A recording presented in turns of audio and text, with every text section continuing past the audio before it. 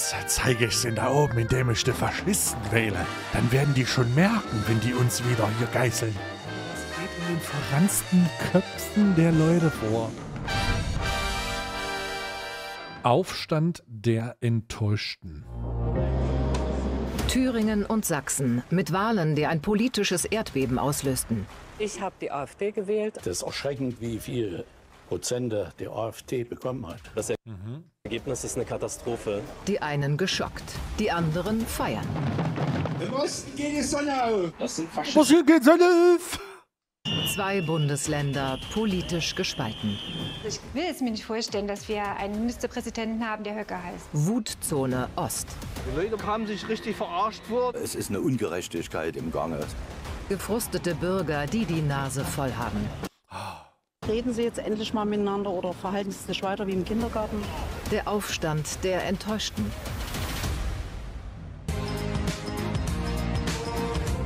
Ich kann die Kommentare in diesem, in, in, bei diesem Video schon übrigens prognostizieren. Die Einzigen, die enttäuscht sind, sind die Öffentlich-Rechtlichen mit der Lügenpresse des Enttäuschen. Landkreis Greiz I in Thüringen, einen Tag nach der Landtagswahl. Hier hat die AfD die meisten Zweitstimmen geholt, über 37 Prozent. Im Ort Berger die Drogerie Berlin. Ladeninhaber Thomas Berlin, der parteilose Ortsteilbürgermeister, frisch gewählt. Er redet gerne über Politik. Das ist kaum ist die Wahl vorbei, ist das Bild teurer.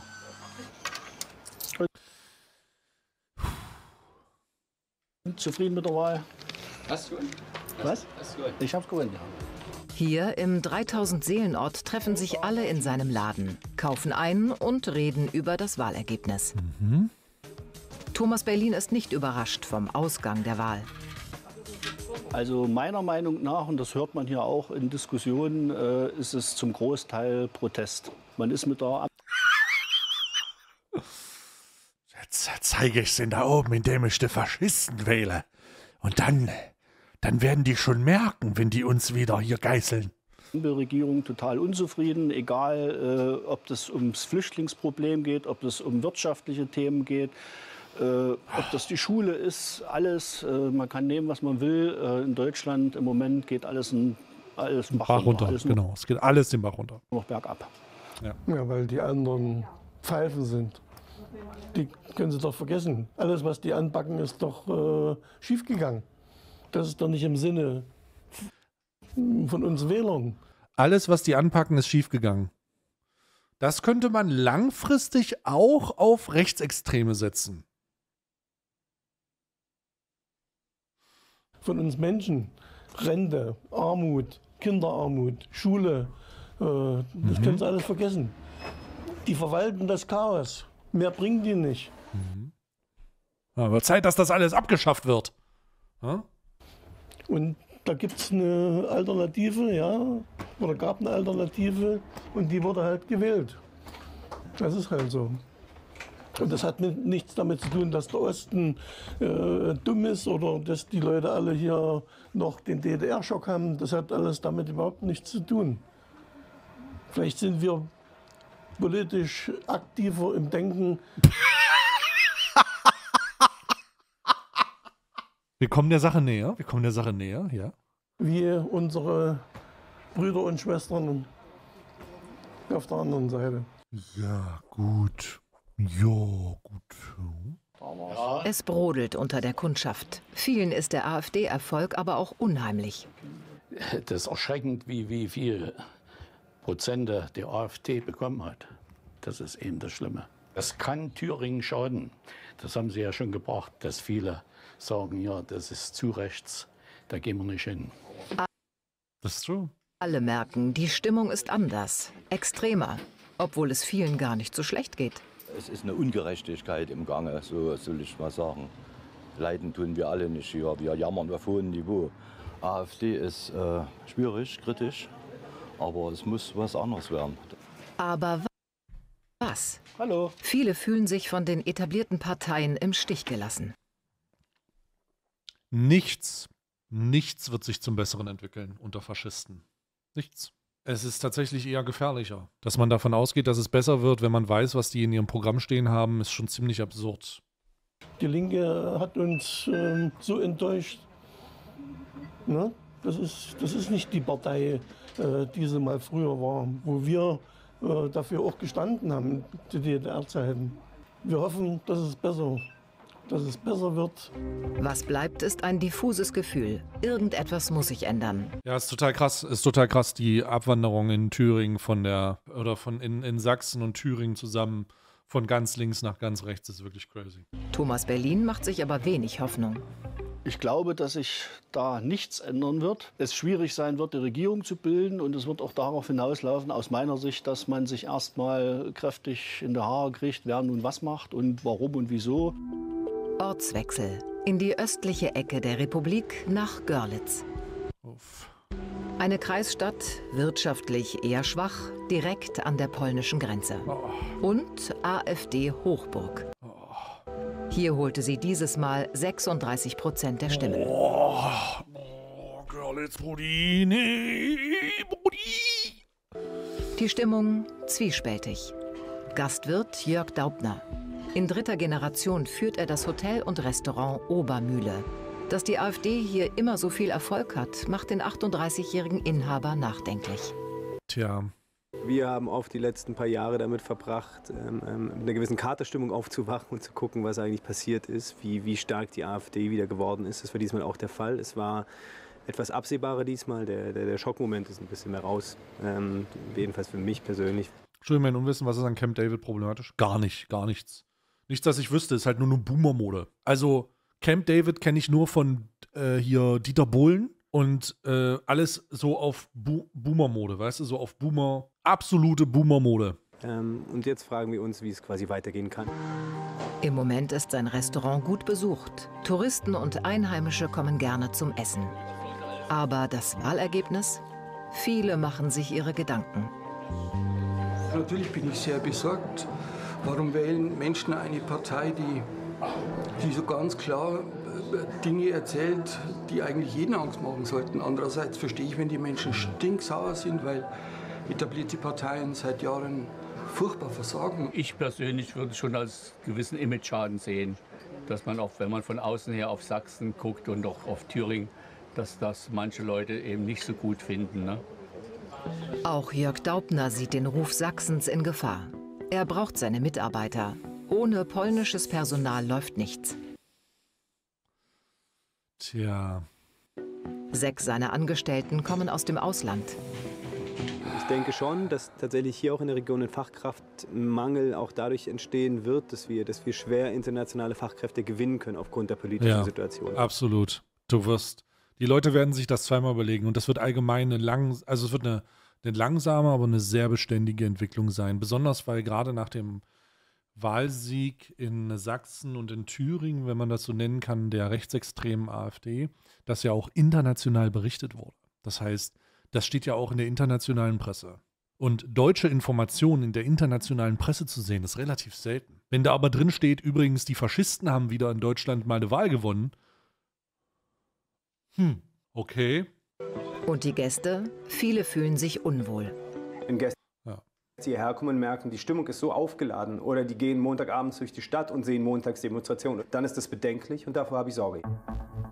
Ortswechsel Leipzig. Mittendrin Namsü Nguyen. Er kämpfte für seine Partei, die Linke, die es in diesem Wahlkampf schwer hatte. Jetzt, nach der Wahl, sammelt er Wahlplakate ein. Der 28-jährige Lokalpolitiker hat dabei geschafft, was keiner für möglich hielt. Er hat in seinem Leipziger Kiez das Direktmandat für die Linke gewonnen. Oh, cool. Damit seiner Partei in den Landtag geholfen. Für viele war es wie ein Film.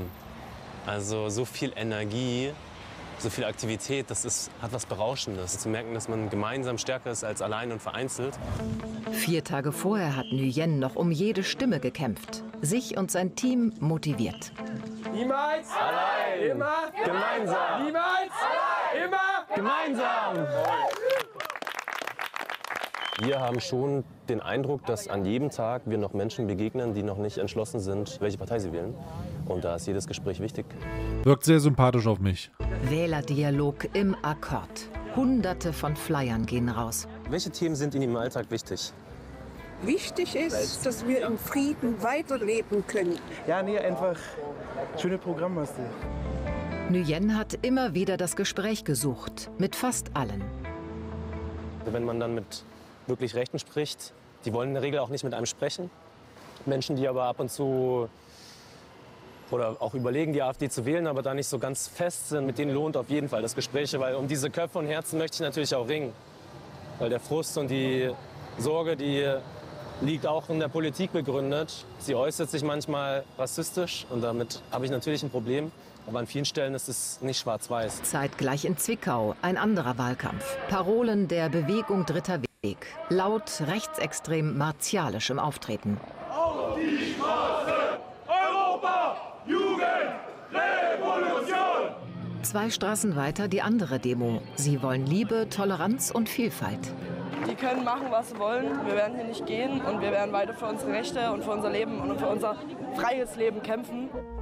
Aufgeheizte Stimmung, von der im thüringischen Zollenroda nichts zu spüren ist. Hm.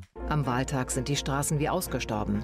Nur die Patisseriebesitzerin Doreen Bergmann ist in ihrer Backstube. Ihr Café, das sie seit 2010 betreibt, ist ihr Ein und Alles. Eigentlich ist sie Juristin. In Zollenroda konnte sie ihr Hobby zum Beruf machen. Oh, krass. Hier haben wir uns äh, jahrelang ein Popo aufgerissen, um das genauso zu machen. Und auch immer mit Höhen und Tiefen. Und, ähm, aber haben wir uns gebastelt. Kann jeder auch machen in seinem kleinen Bereich, wo er das haben will. Tatkraft und Risikobereitschaft. Die Mutter von vier Kindern hat beides. Doreen Bergmanns Mann ist Arzt im nahegelegenen Krankenhaus. Digga, was? Der Mann Arzt, sie Juristin, hat eine Patisserie, vier, was? Vier Kinder? What the f... How? Die beiden sehen grundsätzlich optimistisch in die Zukunft. Doch nicht alle haben diesen Elan. Ich persönlich liebe Veränderungen. Ich kann mich da auch voll drauf einlassen ähm, und, und probiere auch immer neue Dinge aus. Aber ich kann auch verstehen, dass die Menschen müde sind, sich ständig zu verändern. Wenn man sich 40 Jahre in der DDR abgerackert hat, dann 30 Jahre lang durch die Wende, also durch diese Zeit gequält hat, immer wieder aufgebaut hat. Und jetzt ist plötzlich ist, haben wir ein Umweltproblem und, und dieses Problem und, und das Problem. Dann ist es einfach, glaube ich, die sind müde, sich der, sich der Veränderung zu stellen. Und das kann man auch in Teilen nachvollziehen, dass man vielleicht irgendwann mal die Nase voll hat.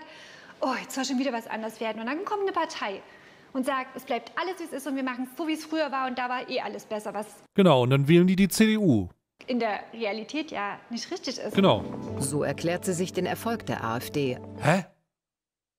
Aber die wählen doch, dann das ist doch die CDU. Alles bleibt so, wie es ist, ist doch die CDU. Und noch etwas anderes ist ihr aufgefallen. Die Leute, die hier leben, das sind gute Menschen. Und wenn sie dann trotzdem die AfD wählen, hat es ja Gründe. Man spürt es. Ich kann, also, es hat Gründe. Aber diese Gründe sind halt fremdenfeindlich. dass wir irgendwie so nicht Ja. mehr top sind in der Welt. Und irgendwie braucht es dafür einen Schuldigen. Und wenn dann eine Partei kommt, die sagt, wir, so wie Amerika, make America great again, das ist ja ähnlich das, was hier, die versprechen uns, Hm. uns wieder groß zu machen und wieder an die erste Stelle zu stellen. Ja. Ist immer besorgniserregend, wenn eine Partei sagt, wir müssen Deutschland wieder groß machen. Wie damals. Und dann glaubt man das, weil es einfach ist. Hm. Einfache Lösungen. Ja. Ich will es mir nicht vorstellen, dass wir einen Ministerpräsidenten haben, der Höcker heißt. Zurück in Leipzig. Kurz vor der Bekanntgabe der Wahlergebnisse, Uff. die Nguyen mit seinen Wahlhelfern verfolgt. Das Ergebnis ist eine Katastrophe. Seine Partei Die Linke stürzt insgesamt ab. Doch ihm gelingt ein Erfolg. Er bekommt 39,8 Prozent der Stimmen, erzielt damit ein Direktmandat und zieht damit in den sächsischen Landtag ein. Cool. Auch seine Eltern feiern mit ihm. Ich bin total stolz und vor allen Dingen bin ich froh, dass ich diesen Moment mit meiner Familie teilen konnte. Mit diesem Direktmandat für die Linke ist er über Nacht zum Medienstar geworden. Er ist damit der einzige nicht weiße Abgeordnete im sächsischen Parlament. Drei Tage nach der Wahl ist Namsy Nguyen in seinem Kiez unterwegs. Aufräumen und Nachbereitung der Wahl. Sie hat einen gehörigen Anteil daran, dass die Linke in der öffentlichen Wahrnehmung als eine zerstrittene Partei rübergekommen ist. Häng mal wieder hin. Das BSW bekam in Sachsen auch viele Stimmen, aber Nguyens offene Art kam im Multikulti-Stadtteil noch besser an. Kein anderer Kandidat bekam mehr Erststimmen. Das merkte er auch auf der Straße. Stabil. Bitte Dankeschön. Das ist einfach krass, wenn man hier so durchläuft, dass man so viel Zuspruch bekommt nach den vielen Monaten Arbeit und auch immer mit den Leuten ins Gespräch zu kommen und auch auf deren Sorgen einzugehen. Die, also in den, in den Städten, ne? In den Städten, in den ostdeutschen Städten, in Leipzig, Bruder. Da ist das vielleicht auch scheiße, ne? Aber ey, das, da gibt's noch Hoffnung. Gehen und einfach mal zuzuhören und das merken die Leute, finde ich. Aber so einen Zuspruch, so eine Verbindung zu den Menschen, die hier leben, habe ich bis dato nicht erlebt und das ist irgendwie ein tolles Gefühl. Zufrieden mit dem Wahlergebnis sind auch viele in Kauern in Thüringen. Überall Wahlplakate. Hier Oh Gott. bekam die AfD fast 35 Prozent der Oh. Stimmen. Im Ort die Kfz-Werkstatt von Sven Junge. Auch ihn beschäftigt das Wahlergebnis, das er mit seinem Mitarbeiter diskutiert. Was sagst du zum Erfolg der AfD? Ja, es ist. Ich sag mal, ähm, ich bin dem nicht abgeneigt unbedingt. Ja. Alter, was geht in den verransten Köpfen der Leute vor? Weil alles andere war jahrelang äh, ein Einheitsbrei und jetzt muss das. Vielleicht, vielleicht geht es in die richtige Richtung. Kann man hoffen. Kennst du meine Einstellung? Ich bin da auch genau deiner Meinung. Und ich hoffe mal, dass das mal ein Zeichen ist und dass sich hier endlich mal ein bisschen was ändert in dem Land. Ja. Eine, eine Wegfunktion für die Politik finde ich es sehr. Diese dämliche Argumentation. Was wecken? Was wächst du denn, Bro? Was wächst du? Finde ich's, ich finde es richtig. Ich finde es richtig. Was die Politik am Ende daraus macht, äh, wird sich zeigen. Ähm, ich finde, dass, äh, ja, dass mal ein Ruck durchgehen muss.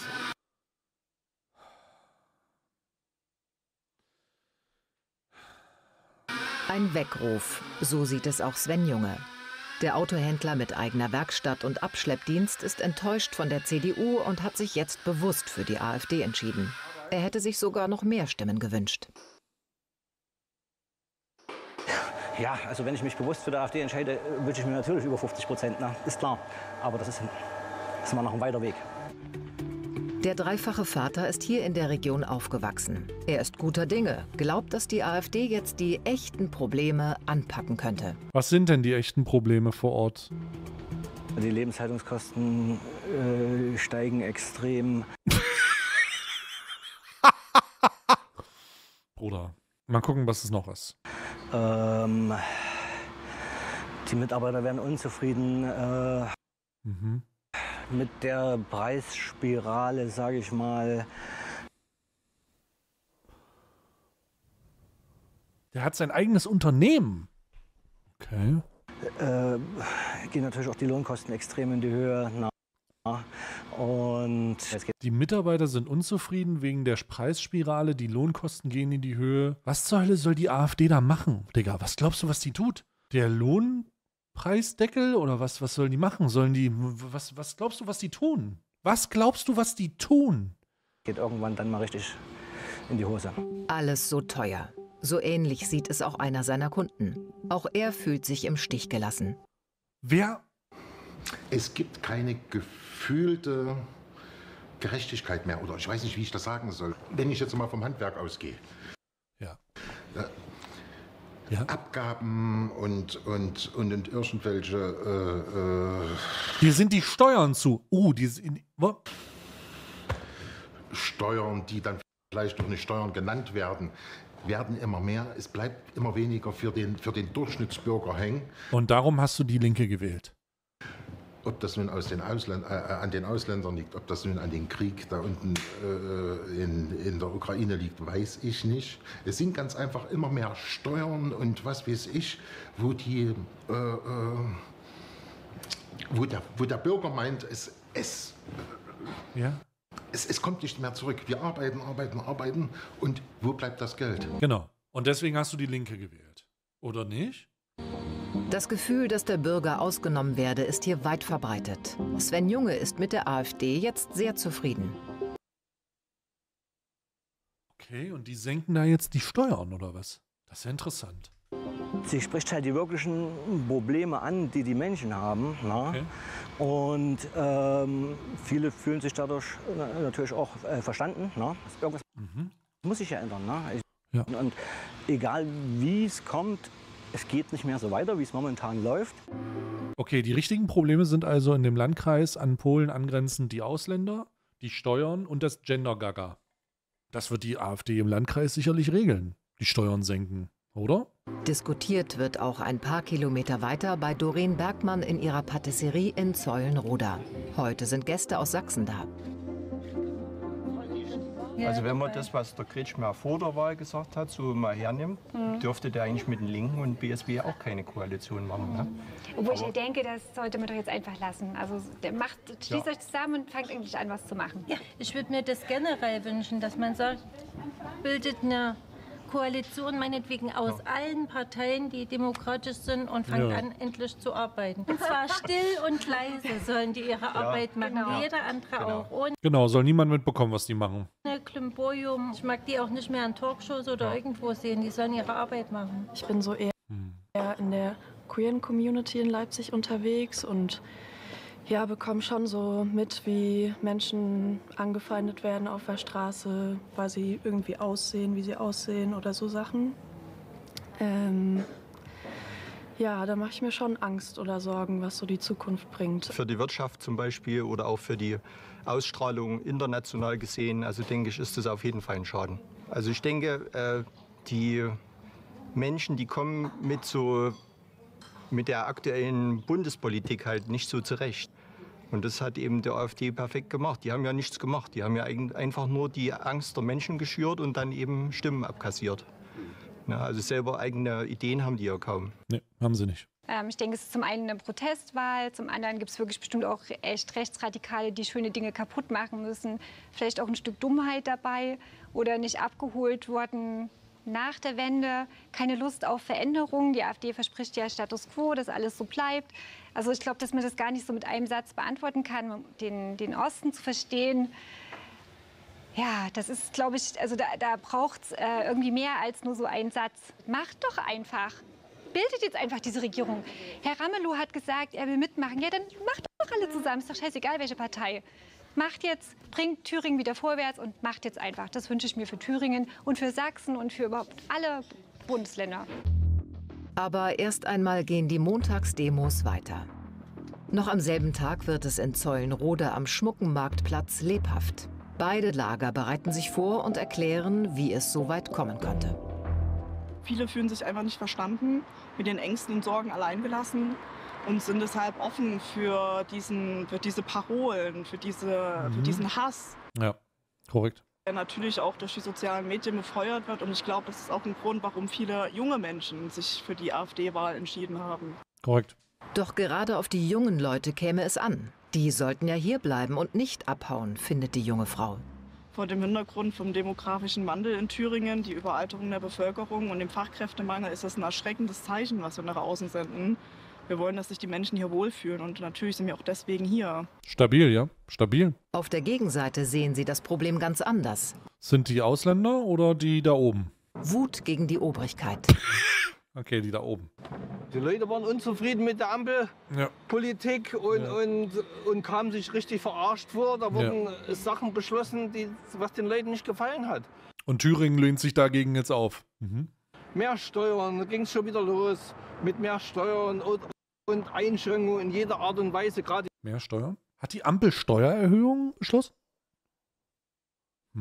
die, die Grünen zum Beispiel, Die die möchten ja alles Mögliche abschaffen. Mhm. Und, und ich meine, das hat alles seine Berechtigung, aber man muss auch ein bisschen auf im Rahmen bleiben. Ich wünschte, ich wäre so dumm wie er. Manchmal wünsche ich wirklich, ich sehe so jemanden und ich, und ich wünsche mir seinen Intellekt einfach.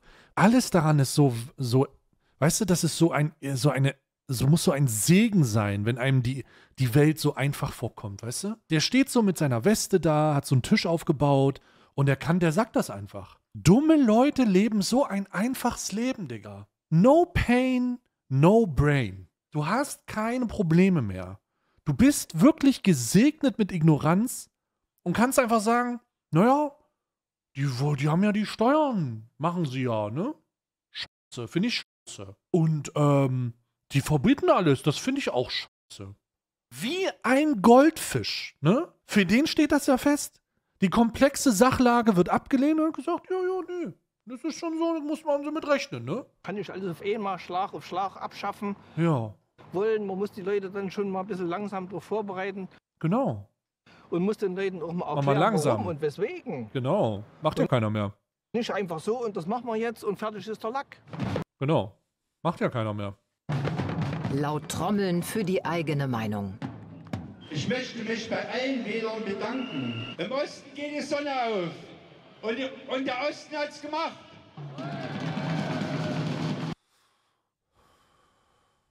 Das sind Faschisten. Umso wichtiger ist es, dass wir heute hier sind, dass ihr heute hier seid und nochmal klar und deutlich zeigen, dass diese rechte Scheiße eben nicht normal ist. Kurz darauf marschieren die Demonstranten. Zwei Lager stehen sich unversöhnlich gegenüber. Miteinander reden, schwer möglich. Äh, ich habe überhaupt nichts mit Nazis an Hut. Aber Das finde ich alles ganz großen Schwachsinn. Die AfD ist eine demokratische Partei. Äh, demokratisch ist eine Partei. Der Höcke mag ja vielleicht ein bisschen rechts angehaucht sein, aber man muss halt auch mal schauen, was ist denn rechts? würdet ihr sagen, der ist rechtsextrem, wenn er sowas sagt? Es mag ja sein, dass der Höcke ein bisschen rechts angehaucht ist, aber da muss man ja auch mal gucken, was rechts ist. Was ist denn rechts? Von der Mitte aus rechts gibt es nicht mehr. Die CDU ist ganz links oder ziemlich weit links abgedriftet. Mhm. Ich finde die ganze Politik nur noch irre. Die CDU ist ganz weit links abgedriftet. Das macht sogar Sinn. Aus der Perspektive eines AfD-Wählers ist ja alles links von der AfD ganz weit links abgedriftet. Aus der Perspektive von diesem verstrahlten alten Mann ist alles links von der AfD links. Selbst wenn das in der Wahrnehmung halt nicht wirklich nachvollziehbar gilt, ist das aus seiner Perspektive, verstehe ich das. Auch wenn er ein rechtsextremer Vollidiot ist. Und wer das nicht versteht, weiß ich nicht. Und wenn ich dann höre von da drüben Kommentare, wir sollten an unsere Kinder und Enkel denken, deswegen bin ich hier, weil ich Kinder und Enkel habe und weil ich sehe, wo das Land hinmarschiert. Diese Wut kommt einfach daher, weil die Menschen halt Umbrüche mitgemacht haben, dabei abgehangen wurden. Oder ich nenne mal ein typisches Beispiel. Ich gucke letztens Fernsehen und da kommt der Kollege Merz, wird interviewt. Ja, warum ist das alles so? Da sagt er, naja, weil wir es halt nicht geschafft haben, die Leute im Osten zu integrieren. Da gehen mir die Nackenhaare hoch. Ich glaube, die demokratischen Parteien haben es in letzter Zeit ein Stück weit verschlafen, wie es extrem Rechte vielleicht gemacht haben, Woche für Woche auf der Straße zu stehen. Und in letzter Zeit wurde viel über Migration gesprochen, aber wenig darüber, wie schlecht vielleicht der ÖPNV in Ostdeutschland, in Sachsen oder in Thüringen ausgebaut ist. Wurde der Osten vergessen? Jana Maschek empfindet es so. Die 61-Jährige hat seit 2004 in Zollenrode eine Nähstube. Ihre Wahlentscheidung? Ich habe AfD gewählt ne, und ich gehe mal davon aus, dass es besser wird. Ja, tut mir leid. Tut mir sehr leid für Sie, dass Sie diese Entscheidung getroffen haben. Sie und ihre Kunden fühlen sich von der Politik nicht gehört und nicht gesehen. Es geht um das Thema Rente. Die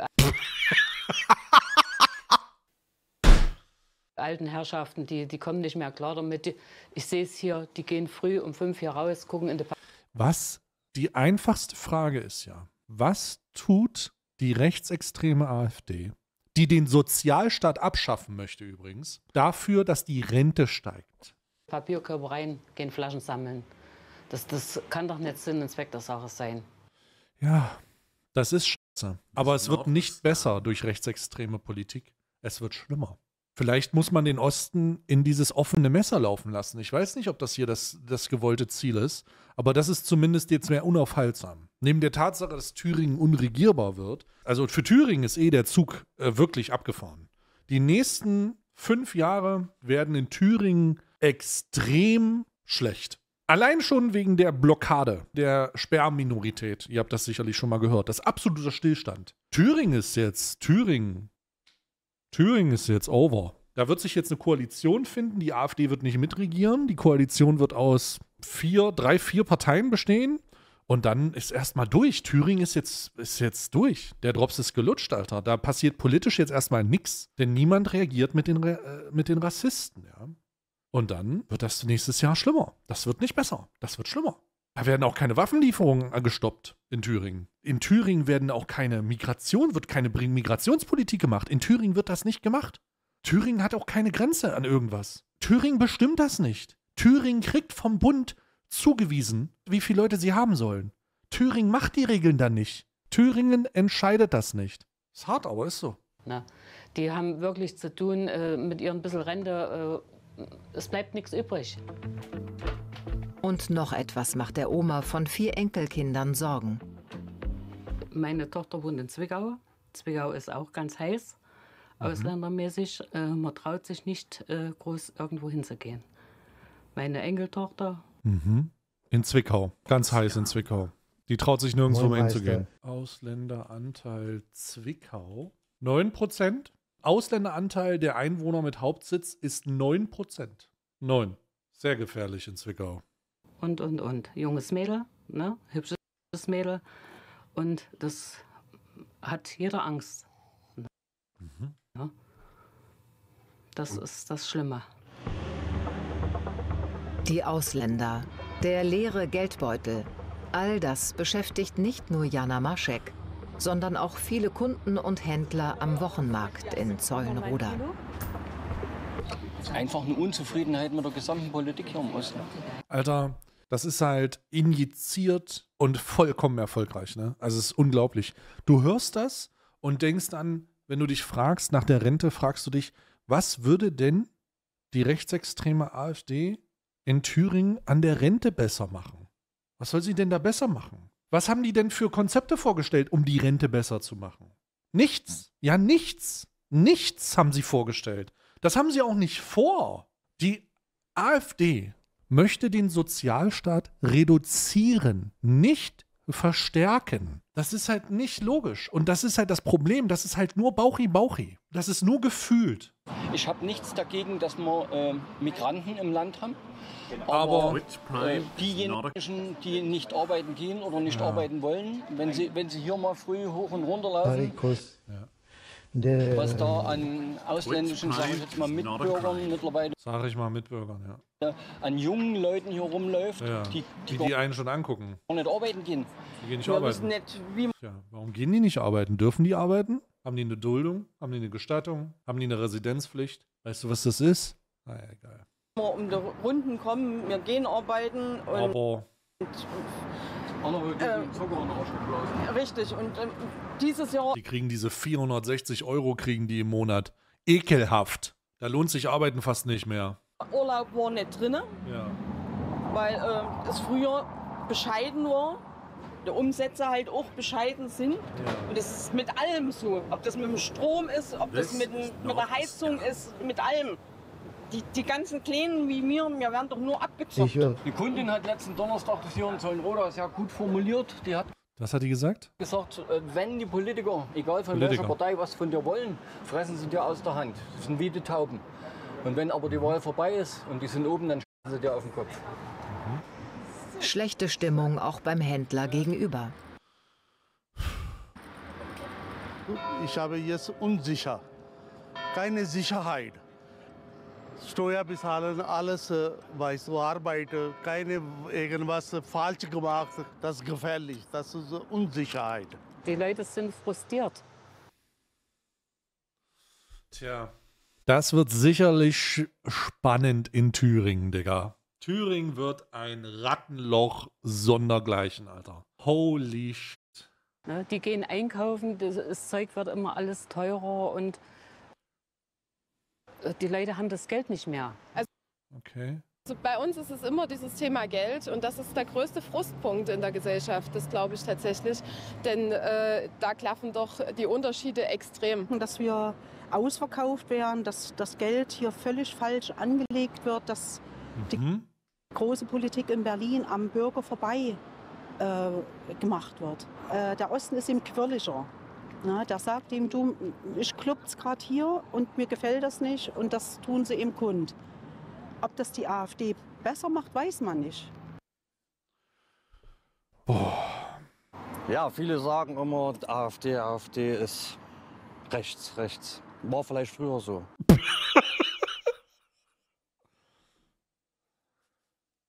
war die AfD schon mal irgendwo an der Macht. Jetzt waren immer andere Parteien an der Macht. Ähm, jetzt sage ich, wenn jetzt die AfD an der Macht kommt, soll sie es probieren. Auch auf dem Wochenmarkt in Bautzen ist das Meinungsbild uneinheitlich. Oh Gott, Alter. Aufbruchstimmung sieht anders aus. Man kann sagen, dass die Menschen hier, sagen wir mal, so ein bisschen die Leichtigkeit verloren haben. Das Lockere, das Lachende. Ich kann mir schon vorstellen, dass einige Leute frustriert sind, dass sie halt, sagen wir mal, sich zurückgesetzt fühlen. Das ist halt so ein unbewusstes Gefühl mit diesen, mit diesen äh, Neuankömmlingen, dass die halt alles bekommen und sie selbst haben nichts. Oder Die Uninformiertheit der Leute ist unglaublich. Und 99% von den Leuten, die, das, die so uninformiert sind, lesen die Bildautor. Wahnsinn. wenig. Und die AfD macht mir schon Angst. Es sind viele Re Rechtsextreme hier unterwegs. Das macht mir ein bisschen Angst. Viele sind unzufrieden mit, eigentlich mit allen. Es gibt die ewigen Meckerer. Ich bin unzufrieden mit den Asylanten, die wir haben. Dass wir äh, die dann helfen sollen, ist alles gut und schön. Aber. Aber die müssen nur arbeiten und das machen sie nicht. Wir So, und das ist jetzt halt, jetzt kommt das Ding, das ist halt das, die, die haben keine Ahnung. Die wissen das nicht. Die wissen nicht, was ein Arbeitsverbot ist. Das ist der Grund, warum der, das System der Migration unbedingt umgebaut werden muss. Das Migrationssystem funktioniert nicht. Und weil das Migrationssystem nicht funktioniert und auch so komplex ist und die Leute das nicht verstehen, die lesen die Überschrift der Bildzeitung. Die raffen das nicht. Die wissen nicht, was eine Duldung ist, was eine Gestattung ist, was ein Arbeitsverbot ist, was eine Residenzpflicht ist. They don't know. Was man machen muss, ist, wie hier muss, man muss das den Leuten erklären, wie man es hier Horst Schlemmer erklären würde. Der Unterschied zwischen guter und böser Ausländer ist Arbeit. Das dahingestellt ist Arbeit aber auch eine gigantisch effektive Integrationsmaßnahme. Arbeit integriert unfassbar. Das bedeutet, das als Grundlage zu nehmen, um Menschen mit, einer, mit einem Aufenthaltstitel auszustatten, um die dann in sofort den Freiheit, die Möglichkeiten zu geben, unabhängig von Deutschkursen, die sie machen müssen, die Identität, diese ganze, diese Integration oder die Erstaufnahmeprozesse, die alle gemacht werden müssen, Anerkennung von Bildung, das ist alles etwas, das darin münden muss, Arbeit als Kernelement des Aufenthalts zu sehen. Denn das versteht auch Horst Schlemmer. Ausländer Arbeit gut, Ausländer nicht Arbeit schlecht. Das versteht sogar er.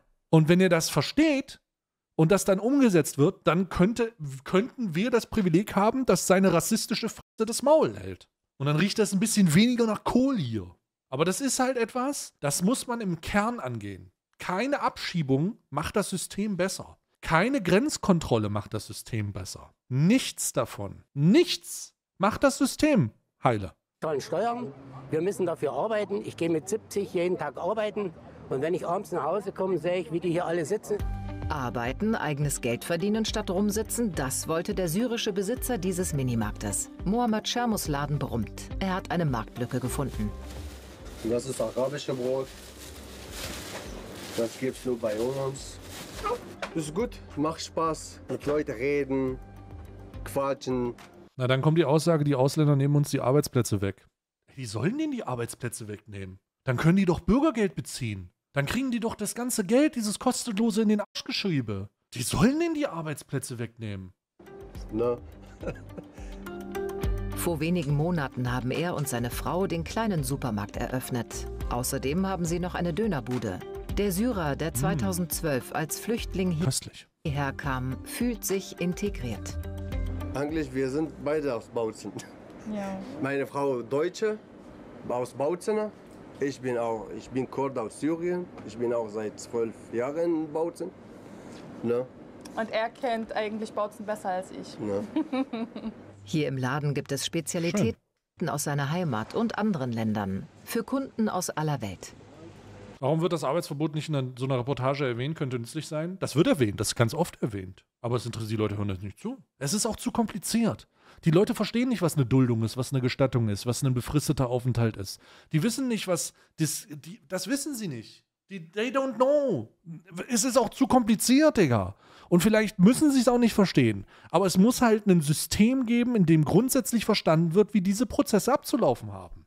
Ich bin ja, ich sitze ja nicht mal hier und sage, ja, die müssen das jetzt verstehen. Ich kann ihnen das auch erklären. Ich kann das jedem erklären. Ich habe in der Scheiße gearbeitet. Das ist halt super frustrierend. Aber die, die Erkenntnis ist nicht darin rumzuquatschen, dass das verwesende aktuelle System erkannt werden muss, sondern es ist wichtig zu verstehen und da, da hat man, da holt man die auch ab. Das Migrationssystem selbst muss vollkommen umgedacht werden. Vollkommen. Die aktuelle Identitätsverstellung mit Abschiebung und so einen ganzen Scheiß, das ist vollkommener Humbug. Unsere Kunde ist verschieden. Erklär mal, aber ich verstehe nicht, was eine Duldung ist. Eine Duldung ist so ein Zettel, der ist sechsseitig. Den klappst du auf, das ist wie so ein, so ein Sozialversicherungsausweis. Das ist kein Aufenthalt, sondern es ist eine Duldung. Es ist eine, ein Identitätsdokument, das du bei dir tragen solltest. Na, sowas wie ein Personalausweis für Menschen ohne Identität. Wenn du geduldet bist, stehst du mit einem Fuß in der Abschiebung. Immer. Du kriegst eine Duldung auch oftmals, wenn deine Asylbefähigung festgestellt wird, also ob du Asyl bekommst oder nicht. Und auch wenn dein Asylantrag abgelehnt wurde. Eine Duldung hast du aber auch immer so lange, wie deine Identität nicht eindeutig geklärt wurde. Du darfst nichts wirklich. Du bist in einer Gemeinschaftsunterkunft untergebracht mit anderen Leuten. Du hast, darfst nicht aus dem Kreis bzw. aus dem Bundesland ausreisen, in dem du bist. Du kriegst nach Asylleistungsbewerbergesetz eine Zahlung, die festgelegt ist. Du darfst nicht arbeiten. So, das ist erstmal alles. Und dann läuft eine Duldung in der Regel zwischen drei und sechs Monaten ab. Das bedeutet, alle drei bzw. sechs Monate kannst du oder musst du zur Ausländerbehörde gehen und vor Ort wird dann entschieden, ob du sofort abgeschoben wirst oder nochmal drei oder sechs Monate bleiben darfst. Und wenn man das viermal macht, also wenn das viermal passiert, gibt es keinen Grund, Deutsch zu lernen. Warum solltest du? Du darfst ja nicht arbeiten. Du da kannst nirgendwo hin. Du musst, hast eine Residenzpflicht. Du musst da bleiben, wo du hingepackt wurdest. Keine Chance. Du hast einen tristen Alltag ohne finanzielle Chancen. Du kannst Dinge auf Eigeninitiative machen, aber nicht so viel. Also du könntest jetzt beispielsweise, es gibt vom Internationalen Bund beispielsweise Kurse. Du hast keine Ärztewahl, du kannst nichts machen. Du kriegst äh, in gewissen Teilen ja jetzt auch eine Bezahlkarte. Das heißt, du hast auch kaum Zugriff auf, auf Bargeld. Das ist mit der Bezahlkarte ganz schlimm. Du kannst also nicht mehr zur, äh, zur, zur Tafel, wenn es schlimm läuft. Du kannst keine gebrauchten Möbel holen. Das ist ein großes Problem. Flohmarkt ist alles over. Dieser Aufenthalt, der kein Aufenthalt ist, ist eigentlich mehr oder weniger das Ende vom Anfang. Oder der Anfang vom Ende. Es ist dann, also wenn du das ein, zwei Jahre hast, kannst du es vergessen, Alter. Das kannst du vergessen, dann ist es vorbei. Die Leute kriegst du auch nicht abgeholt. Nachvollziehbarerweise. Viele von denen ähm, äh, widmen sich dann nachvollziehbarerweise der Beschaffungskriminalität. Die wollen ja irgendwas machen. Ob das nun äh, äh, Diebesgut ist oder mal Drogen verkaufen, das passiert. Das ist ein ganz, ganz nachvollziehbarer Prozess. Das liegt aber nicht an der Tatsache, dass die das nun mal machen, sondern es liegt daran, dass die keine Wahl haben. Sie dürfen nichts anderes machen. Sie können nichts anderes machen. Es gibt über 300.000 Menschen, die gleichzeitig, ich glaube, der, die aktuelle Zahl ist 300.000 Menschen, die eine Duldung haben. Bei denen ist alles, das ist immer dasselbe. Alle drei Monate zur Ausländerbehörde, vor Ort wird geklärt, ob man abgeschoben wird oder ob man bleiben darf. Und dann kriegt man nochmal drei Monate eine, Aus, eine, eine Verlängerung. Oder mal sechs Monate. Manchmal auch, wenn sie sich sehen wollen, ein Monat. Und dann wird gefragt, wir können ihnen die Duldung abnehmen. Also wir können ihnen die Duldung abnehmen, aber nur, wenn sie sagen, woher sie kommen. Und ich bin dann derjenige, der zu den Leuten gesagt, äh, gegangen ist und gesagt hat, auf keinen Fall sagt ihr der Ausländerbehörde, woher ihr kommt. Niemals sagt ihr der Ausländerbehörde, woher ihr kommt. Niemals. Weil wenn ihr der Ausländerbehörde sagt, woher die kommen, dann geht ihr dahin in der Erwartung, dass ihr endlich einen Aufenthalt bekommt, um endlich arbeiten zu können, und dann werdet ihr abgeschoben. Niemals sagt ihr der Ausländerbehörde, woher ihr kommt. Und jetzt kommt's, jetzt lebt sich das so in den Kreis rein, ne? Das ist so ein Zyklus. Das ist so, ein, so eine sich selbst erfüllende Prophezeiung. Wenn die Leute nicht sagen, woher sie kommen, werden sie nicht abgeschoben. Sie müssen aber alle drei Monate dahin, damit sie sagen, sie sind da. Ne? Und so. Schon seit Jahrzehnten läuft das so. Das ist eine katastrophale Existenz. Es ist eine absolute Katastrophe. Und dieser Aufenthaltstitel ist für viele der erste Kontakt, den man langfristig mit Deutschland hat. Also, das ist, also, ist absurd. Es ist wirklich absurd. Ich kann mir nichts Schlimmeres vorstellen tatsächlich. Und dann gibt es Leute wie diese Faschisten, die ich hier gerade auch rausklatschen musste, die dann sagen, die denken, das ist gut. Aber so wird niemand integriert. So wird auch kein System besser. So funktioniert das nicht. Dass die Leute denken, wenn, wenn Leute das sagen, sind sie halt Menschenfeinde. Weil in so einem Projekt, in so, einen, in so einer Art und Weise willst du die, willst du die nicht übersetzen. Und darum ist mein Lösungsansatz, unabhängig davon, welche Identität ha du hast, wir brauchen eine bessere Anerkennung von ausländischen Bildungsabschlüssen und wir brauchen einen sofortigen Zugang zum Arbeitsmarkt. Die Leute, und das ist scheißegal, wie die, woher die kommen und was die für einen Aufenthaltstitel haben, die müssen einen sofortigen Zugang zum Arbeitsmarkt haben. Gebt ihnen ein paar Deutschkurse mit, aber wenn sie keinen Zugang zum Arbeitsmarkt haben und wenn sie eine Residenzpflicht haben, dann kommen die nicht mit den ersten motivierenden Schritten klar. Es wird eh ein bisschen dauern. Man sieht das ja an den Ukrainern, die Frauen und Kinder, die aus der Ukraine gekommen sind, um sich gewiss, um, um sich einzurichten, um Deutsch zu lernen und dann Arbeit zu finden. Aber man kann das Prozedere auch einfacher machen. Gebt ihnen sofort eine Arbeitserlaubnis. So fort. Und hört auf, den Leuten mit Abschiebungen zu drohen. Denn Abschiebungen lösen eure Probleme nicht. Kommuniziert das klar. Kannst ja arbeiten, Bruder. Wir geben dir eine Frist, in der du einen Job suchen kannst und dann wird entschieden, was wir mit dir machen. Und wenn wir zu dem Entscheidungstermin, wo du hier bist, feststellen, dass du, dass du dich bemüht hast und dass du, dass du einen Job gesucht hast, dass das geklappt hat oder eben nicht geklappt hat aus diesen oder jenen Gründen, dann bleibst du. Und dann liegt der Fokuspunkt nicht mehr auf Abschiebung, sondern dann liegt der Fokuspunkt auf Integration. Und dann schaffen wir die Ausländerbehörde ab und dann schaffen wir eine Integrationsbehörde.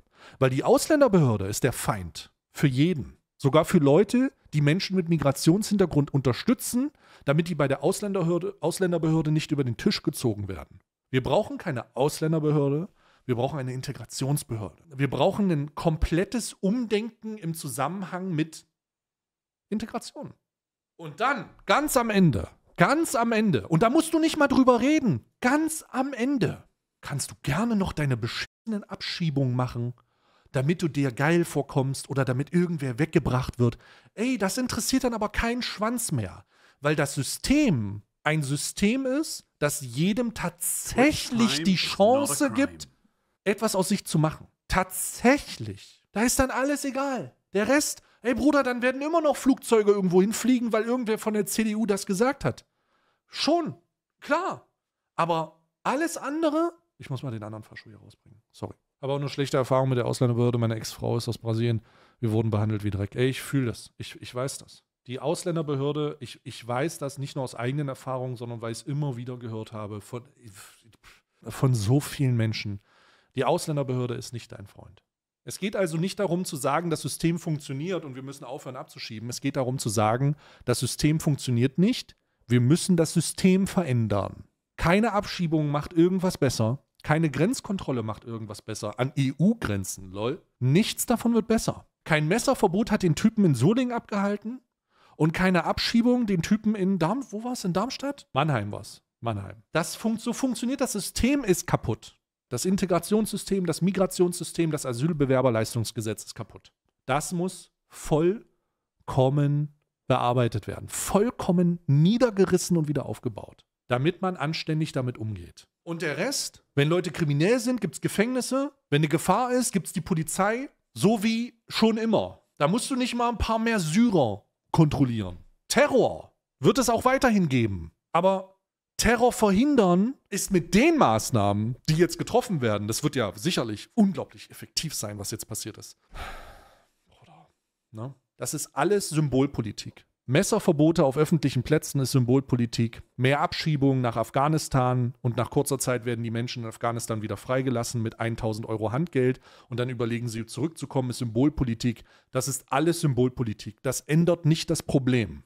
Das Problem ist, dass das System das System überholt werden muss, überarbeitet werden muss, neu aufgestellt werden muss. Darauf soll man sich konzentrieren. Darauf muss man sich konzentrieren. Denn wir stehen alle überein damit, dass das System nicht funktioniert. Es macht keinen Sinn, sich auf Abschiebung zu konzentrieren. Und es macht auch keinen Sinn, sich auf Grenzkontrollen zu konzentrieren. Das ist Symbolpolitik. Deutsche, Russen, Ukrainer, Türken, Kurden, Araber, Menschen mit Migrationshintergrund, die sich nach den Wahlen hier vielleicht nicht mehr ganz so wohlfühlen? Haben Sie manchmal persönlich so Angst vor der Entwicklung, wenn das so weitergeht? Oder? Nö, nö. Weil, wie Sie das sehen, also arbeiten und. Ich habe keine Angst, weil ich mache alles richtig und ich arbeite, ich mache alles, wie ich will. Nö, ich habe keine Angst mit niemand. Warum Angst? Mohammad Shamo findet manche Argumente der AfD sogar nachvollziehbar. Auf die paar Sachen hat recht. Weil viele, viele, die machen auch In zwei Wochen nicht sind gute Wahlen Sachen bei mir. von der Stadt und so weiter. Weil ich würde auch so sein, weil Deutsche konnten meine Stadt und Arbeit nicht und macht, Entschuldigung, Scheiße. Natürlich, ich gehe gegen diese Leute. Das ist normal. Zurück in Zeulenroda in der Patisserie von Doreen Bergmann. Die 48-Jährige bezeichnet sich selbst als Wende-Gewinnerin, hat ihren Laden vor 14 Jahren aufgebaut und Oh, immer doch eine große Melone, doch. weiterentwickelt. Sie will mit Optimismus gegen die AfD ankämpfen. Ich fokussiere mich immer auf das Gute. Das ist der erste Punkt. Und dann ha haben wir richtig mitgebibbert, dass Christian Tischner im Wahlkreis Kreiz ähm, Höcke geschlagen hat. Mein Landkreis Kreiz hat sich für die Richtigen entschieden. Zack. Wenn jetzt sich keine gute Regierung bildet und, dieses, und Thüringen so vor sich hin wappert, ähm, die Bevölkerung weggeht, sich keine guten Leute hier ansiedeln, eine Firma, die sich überlegt, hier anzusiedeln, weil sie vielleicht nicht deutsche Mitarbeiter hat und dann lieber in ein anderes Bundesland gehen, dann wird es wirtschaftlich hier schlechter werden. Und dann stehen wir in fünf Jahren vor einem viel größeren Problem. Das, das ist so meine Sorge, dass einfach nichts passiert. Dazu muss man miteinander reden. Genau das macht Doreen Bergmann im Kleinen und spricht mit allen, egal wie sie politisch ticken. Ob links oder rechts, ob Ossi oder Wessi. Ich denke einfach, das ist der größte Punkt oder der größte Knackpunkt. Die Leute fühlen sich einfach im Osten abgehängt vom Westen. Also vor allem die äh, Jahre nach der Wende haben ja hier wirtschaftlich ganz große Lücken geschlagen. Und es ist ja immer noch nicht so, dass Ost und West, gerade was die Gehälter oder die Löhne betrifft, gleich behandelt werden. Und wenn das nach über 30 Jahren eben immer noch so ist, dann muss sich die Politik vielleicht doch mal fragen, was hier im Osten schiefgelaufen ist. Und meiner Meinung nach sind die Menschen mit ihren Sor- Sorgen und Nöten nicht ernst genug genommen worden. Für Doreen Bergmann ist ihre Heimat Thüringen noch nicht verloren. Sie hofft, dass mehr Besucher kommen und sich selbst ein Bild machen. Mit Miteinander reden statt übereinander. Kommt nach Thüringen, sprecht mit uns. Und das ist Also wenn ich irgendwo im Ausland untergebracht werde, weil mein Land Krieg ist, ich dort aber ein Arbeitsverbot bekomme, werde ich ganz bestimmt nicht anfangen, Drogen zu verkaufen oder irgendwelche Autos klauen gehen. Doch, wirst du, natürlich. Besonders wenn das drei Jahre so ist. Klar. Also ich auf jeden Fall würde das machen. Wenn du versuchst, einen Job zu bekommen, klar. In den Keller einbrechen, sowas, ne? Vollkommen nachvollziehbar, tatsächlich. Werkzeuge klauen oder so, keine Ahnung, irgendwas um Geld zu machen. Weil du darfst ja nicht arbeiten. Über Monate, Jahre. Das wird kürzer oder länger dauern, aber es wird passieren, ne? wünsche ich mir. Nähstubenbesitzerin Jana Maschek hat dagegen wenig Hoffnung. Ich mach das sogar jetzt schon. Ja, Hakon macht das einfach nur fürs Gefühl, für den Kick. Es wird sich nichts ändern. Zwei Bundesländer, zwei Landtagswahlen. Ein Stimmungsbild. Nicht mehr, nicht weniger. Hoffnung und Enttäuschung. Wut auf die Ampel. Angst vor Faschisten. Schwierige Zeiten für Dialog und Kompromiss. Ja, ja, ja, ja. ja. Äh, war eine sehr interessante Doku, muss ich sagen. Aber auch sehr belastend. In den Kommentaren. Nee, nee, nee, nee, nee. Nicht in die Kommentare gucken in der Scheiße. Nicht bei, nicht bei sowas in die Kommentare gucken. Niemals in die Kommentare gucken bei so einer Scheiße.